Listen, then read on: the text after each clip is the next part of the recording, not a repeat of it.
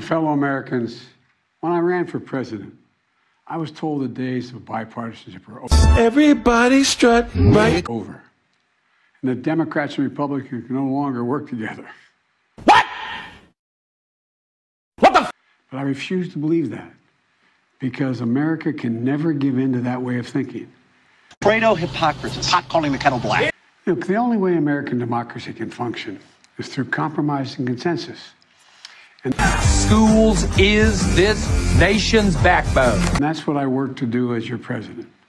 You know, to forge bipartisan agreement where it's possible what? What the? F- and where it's needed. I've signed more than 350 bipartisan laws thus far in just two and a half years. Can't go to prison, Roy. They'll rape the flip out of me.